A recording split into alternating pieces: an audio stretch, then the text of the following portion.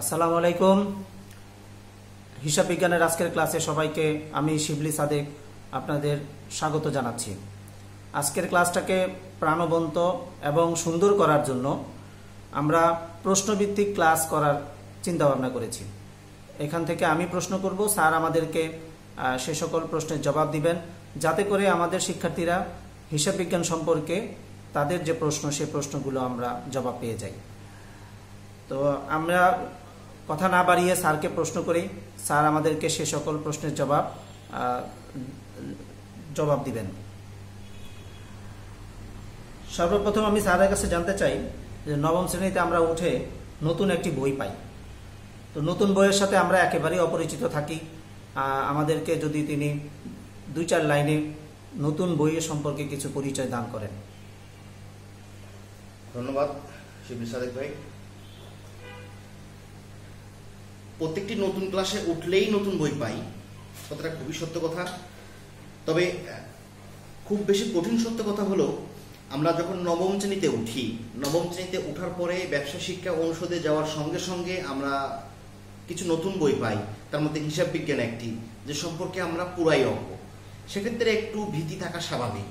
এই ভীতি দূর করার জন্য দায়িত্ব নিতে হবে আমাদের শিক্ষকদের। কারণ, যেহেতু শিক্ষার্থীরা একদমই বিষয়টির সঙ্গে নতুনভাবে পরিচিত হচ্ছে, তাই ভীতি আকারে নয়, একদম বেসিক প্রত্যেকটি পাঠের সঙ্গে, প্রত্যেকটি অধ্যায়ের সঙ্গে আমরা যদি পরিচয় করিয়ে দেই, তাহলে শিক্ষার্থীরা খুব সুন্দরভাবে এটি গ্রহণ করতে পারবে এখন প্রশ্ন হলো, এটা কীভাবে করব।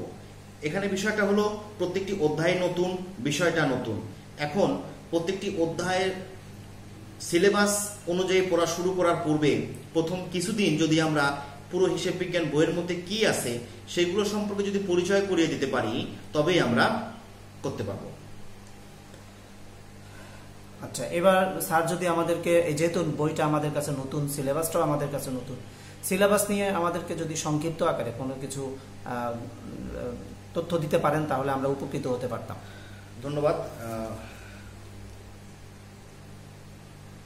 যে শিক্ষার্থীরা তোমরা খেয়াল করে দেখবে হিসাব বিজ্ঞান বই খুবই ছোট একটি বই, খুবই ছোট একটি বই এবং দেখবা প্রত্যেকটি অধ্যায়ে অঙ্কের পরিমাণও খুবই সীমিত, খুবই অল্প পরিমাণে আছে।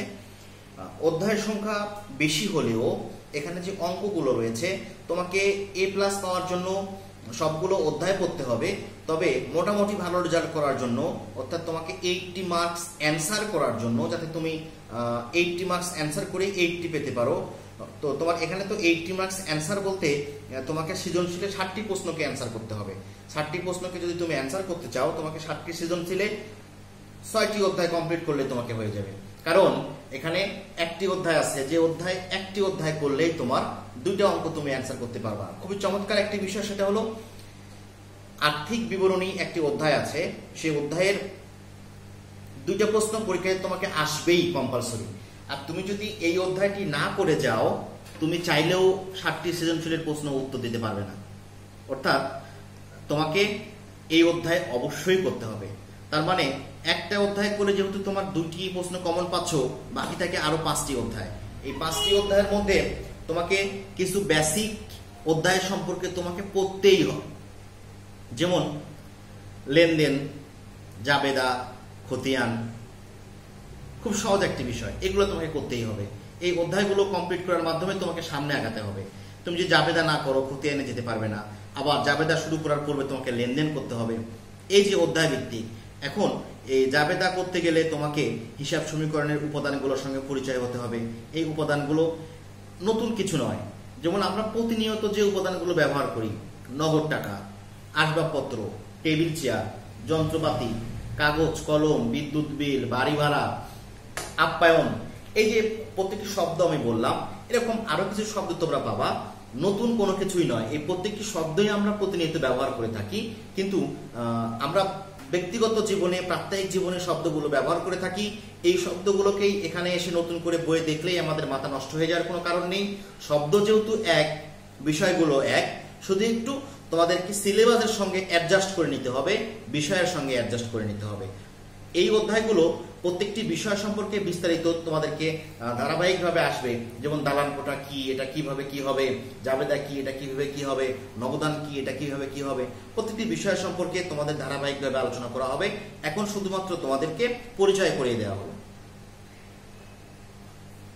স্যারকে ধন্যবাদ জানাচ্ছি। আমাদেরকে সুন্দরভাবে এই হিসাব বিজ্ঞান বিষয় সম্পর্কে কিছু ধারণা দেওয়ার জন্য। তো আজকের ক্লাস আমরা এখানে শেষ করছি। আশা করি পরবর্তী ক্লাসে আমরা আরও কিছু প্রশ্ন নিয়ে স্যারের সামনে আগামী ক্লাসে আমরা হিসাব বিজ্ঞানের সিলেবাস নিয়ে একদম সরাসরি এ থেকে শুরু করব। তোমাদের পূর্বের দুইটি ক্লাস এবং আজকের ক্লাসে মোটামুটি হিসাব বিজ্ঞানের ভিত্তি কাটানোর জন্য প্রাথমিক আলোচনা করা হয়েছে এটা সিলেবাসের বাইরে। এটাতে নিয়ে তেমন কোনো তথ্য তোমাদেরকে দেওয়া হয় নাই। হিসাব বিজ্ঞানের মূল পড়ার মধ্যে তোমাদেরকে কথাবার্তা বলা হয় নাই।